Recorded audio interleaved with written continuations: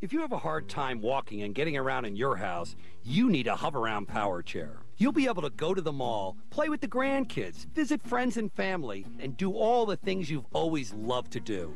I'm Tom Kruse, inventor of the Hoveround. Call us toll free now to find out how you can get one.